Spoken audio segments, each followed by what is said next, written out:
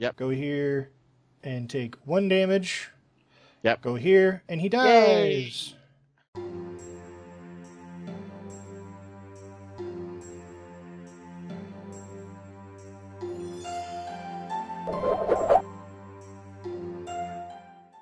Hello, everybody. It's Suffolk Blue, all the way from Merry Old England. How the devil are you? I hope you are well. Welcome back to uh, Tabletop Simulator and Boss Monster with me, Suffolk Blue, and Digimazter. Hello, hello. How are you? Hello. I'm good, thanks, man. Now, remember the last time we were just halfway through a build phase. We both laid our cards down. We're going to flip in three, two, one, flip. I just upgraded mine. I'm assuming you've now taken the majors, which he has. But Yeah, he I has. get to swap placements of rooms. Okay, enjoy that. Um, Yep. So let's see. One, two, three, four, five, six. Um, I actually don't think I'm going to swap the placement of any room, so I'm going to keep it there. Okay. Now, all I did was upgrade mine to the Liger's Den. That's all I did with mine, is just upgrade it. Um, Digi actually changed his rooms and has now added an extra book, so he gets both of these mages are going to come and visit him. Take Hmm. them through your. Take them through your Any mage. spells or anything? Um.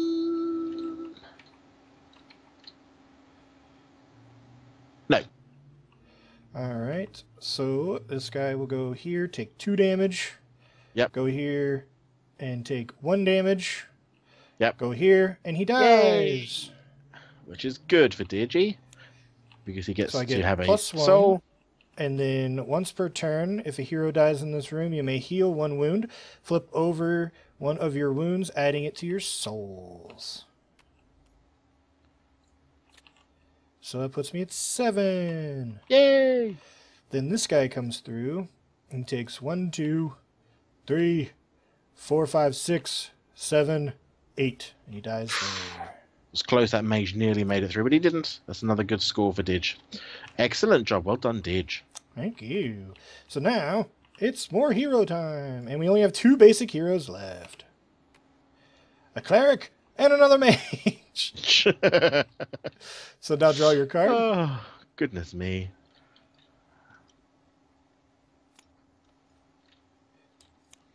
Oh dear.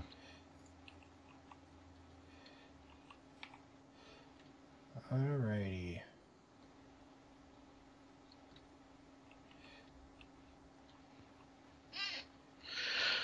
Oh dear, this is not good, Dig. Not good. I don't think I want to do anything. Oh, I do.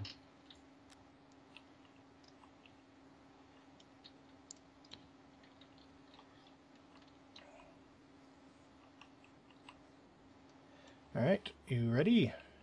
Um, have you played one? I have.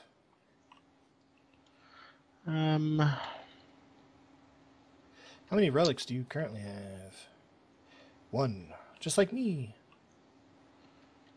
Yeah. Might be able to do something about that. Hold on.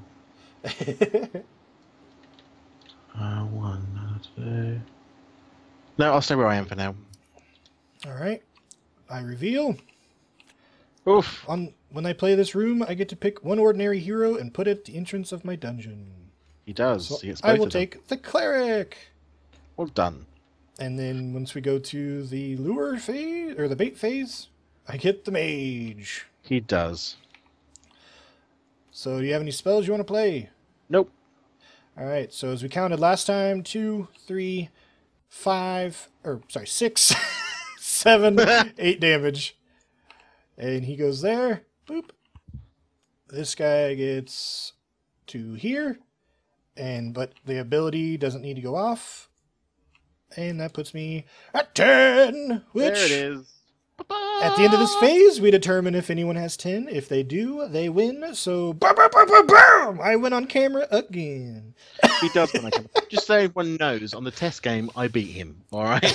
It didn't happen on camera. It never happens on camera for me. I lose. It's really unfortunate because I what I managed to get myself into in this game is a bit of a rut because I wanted to get this Minotaur's maze. I could have played some stuff, but I want to get this Minotaur's maze involved so that um, they had to keep going backwards into my bordello because every time they hit that, they would have gone backwards back in here. That would have been another 6 three damage. wounds. six every time, and I would have had a really good uh, and I'd be able to Oh. turn all these ones over. But Yeah. unfortunately, not not going to happen. I never actually let a thing get back in your dungeon once that was there. No, but I kept- you know what? I had t- worse luck when it comes to um, sort of cards because I kept getting the same bloody cards over and over again. Um, another Minotaurs one for no bloody reason. Um, that was a. I mean, they were all pretty rubbish cards actually that I was getting after a while, which were no good to me whatsoever. But um, it was a definitely a good game, and your spells at the beginning were really effective. They were, and they helped out a lot. Like I kept getting a lot of like I had. Hold on, I'm in flick mode. I don't want to flick. I don't want to flick that card. Okay, get out of flick mode. All right. No, I'm back in flick mode. Dang it. Is flick mode off? How do you turn flick mode off? Just hit the little button at the top, which is the grab button. Oh, okay. Left hand side, hit grab, and there you go. I mean, I had halfway decent cards, like that one fighter card that gives you plus one to adjacents. I had a mm-hmm. spare. I had two of those steely cards. I had this in case you ever tried to play something to boost a room. You know, I had I had halfway decent cards, but if you noticed, I kept like laying over cards just to, to take the, Yeah. the types because I was like, well, I'm gonna lose power, but I'm gonna still be able to defeat them. So I've just played strategically to be able to still be able to beat them and take over the rooms or take the No, I did not have what I wanted really, which was more. I did not get enough damage cards coming through. That was my problem.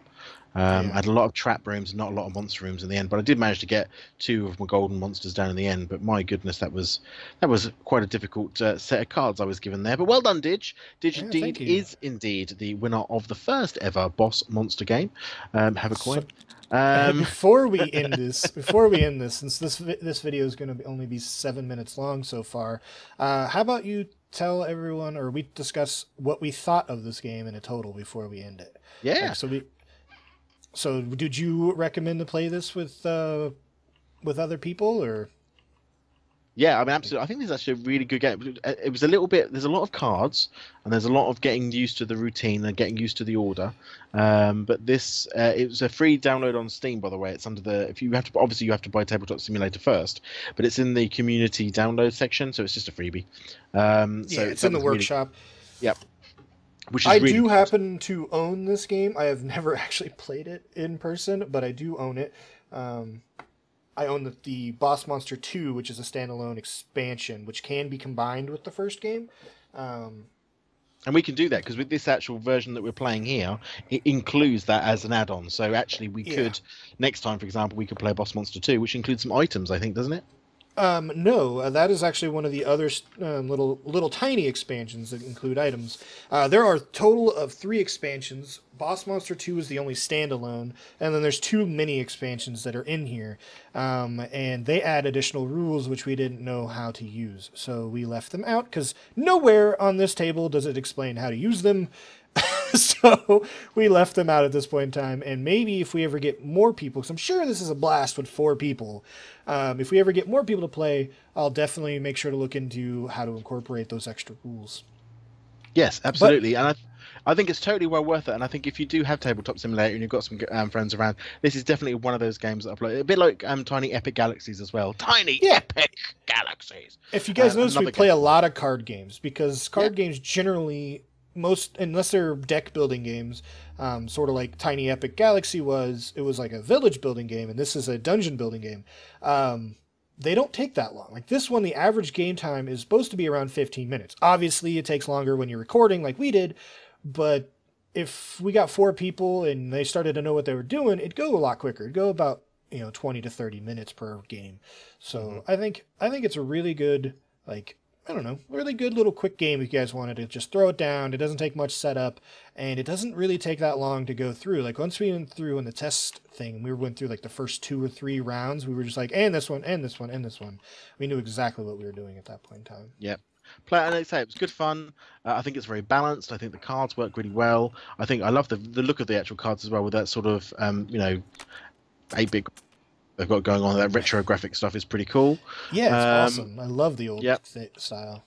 Love the old stuff. I love the fact they got all the counters in here. I love Tabletop Simulator. It's so good. So absolutely, I would totally recommend this game for anyone to play. And uh, who knows, maybe soon we will be able to get some more people playing with us on tabletop. You never know. Can I just say, Mm. Digi, I've also just worked out, looking at the room around us, that this is actually from Skyrim, and it is the um, Tomb of Red Eagle. Is the is the room that we're in here at the moment um, in Skyrim, and that's how sad I am because I've just realised and recognised it. That's you how. gotta be kidding me! there it is. The table has gone for Burton. So thanks very much for watching, guys. I hope you've enjoyed this. I know this episode's a bit shorter than the others, but you know sometimes it's just the way it goes. Um, we I'm didn't now know I was gonna win right away. No, but I'm going to head off and pack my suitcase, ready to head off to the United States, to New Orleans, and to Seattle. Um, so I've got to go and do that, and Digi's got to go and uh, eat things, Sweet. play games, kill people, that sort of thing. It's fun. Yeah. Fun.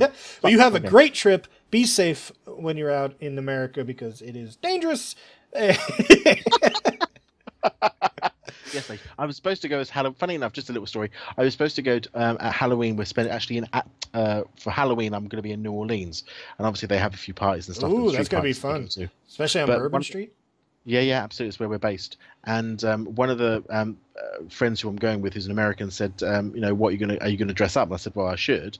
Um, so maybe I'll go as I'll do my scary Seahawk clown." And she said, "No, no, no, no, no, no scary clowns in America." No, no clowns. No Because clowns. people are people are shooting clowns first and asking questions later, Matt. So we're having no clowns, no no clowns. We, if, So, for uh, those who don't know, like they're out right now in America, we have this clown craze where people are dressing up as scary clowns and just walking down the street or alleyways and just walking up to people or stopping people's cars and just being overly creepy. And uh, so far, every time it's been like, oh, a clown's been shot. Every time I've seen the video or seen the article, it's been declared fake. So so far, I haven't heard of any clowns actually being shot, but there were a couple clowns that were beat up really badly. Yeah, and I, and do you know what? I, whilst I've got medical insurance, I just don't want to have to put that to the test. So um, Especially Uh, a British far as clown in America, man, you'd be toast. I'd be the I'd be the I'd be the politest I'd be the politest clown that you've ever seen. Hello, good morning, hello. Did you Um, say hello to yes. me? Um, yeah, so that's that's not going to happen. But in any case, uh, thanks so much for playing with us today, Did It was great fun. oh yeah, it was amazing. Thanks for having me. I guess. Like yes, because I, ho- I ho- I hosted the server, so yeah, you did. You did. Totally did. I hosted the server. Um, so thanks so much for playing with us. If you have enjoyed this video, peeps, do leave any comments down below. Um, leave any likes. Do all the subscriber stuff, as you know, both channels. Um, and when I come back from the USA, we'll have some more. Maybe we'll do some more tabletop dig. Perhaps we'll go back to Elder Scrolls. Perhaps we'll do something completely different. We don't know what we're going to do. We just do it. Ba, ba, ba. That's how we roll. Oh, and by the way, everyone, I know this is going to be a bit late now because not everyone's going to be able to do it, but because it's going to be Halloween soon, do go and check out Digi's new Halloween art if you're seeing this before Halloween because it's amazing. Just saying. Yes. It won't be before Halloween, but yes. Yeah. well, perhaps Dig, perhaps Dig will put up a little flash of his, of, put put a little put a little uh, screen flash on or something. Edit it in so they can see what it looked like 'cause it looks pretty cool. Crap, now I gotta remember that. Beep! Okay, right. I'm going to head off and start packing. Dig, you take care of yourself, and I'll speak to you soon. Alright, bye bye, everybody. Bye bye. Hey, Digimazter here. Seems the episode is over. If you missed an episode, click here to go to my playlist. Maybe you want to check out some of my other videos? Click here to sub and go to my channel page. Well, thanks again for joining me on today's adventure.